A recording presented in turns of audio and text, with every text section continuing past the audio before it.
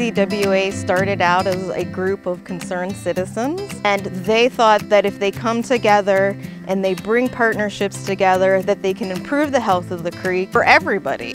And over the past 30 years, we have grown in our scope and also in our membership. And you know, this is an advocacy group that really raises awareness of the quality and health of that waterway so that we can not only enjoy it, but also preserve it and sustain it for the future.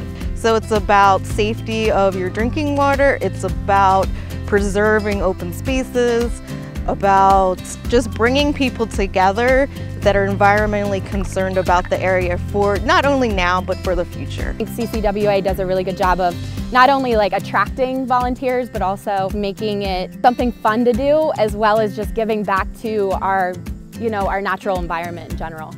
So that's one of our main features is direct action. So we do five creek cleanups every year. They have taken out tires, debris, uh, metal, anything that you can think of. They carried dump trucks worth of stuff out. We take about two tons of trash out of the creek every single year.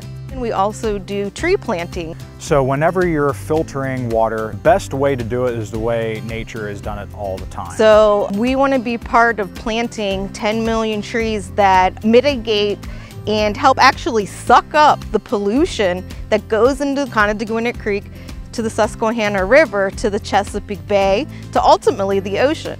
So if we're ever to clean up the bay and, and improve you know, its function um, and its fisheries, then we have to clean up the headwaters um, to make that possible. And that means we have a lot of work to do here in the Conodoguinet watershed. So that's one of the things that we've been focusing on is connecting people with what we do with the education of it, but then also the volunteerism. We actually end up with the great synergy. Um, volunteering to me is very personal.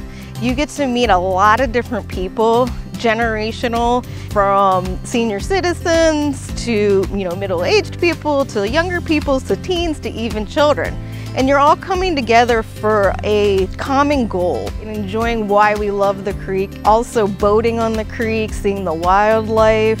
That is part of being a community. And CCWA brings together all of that.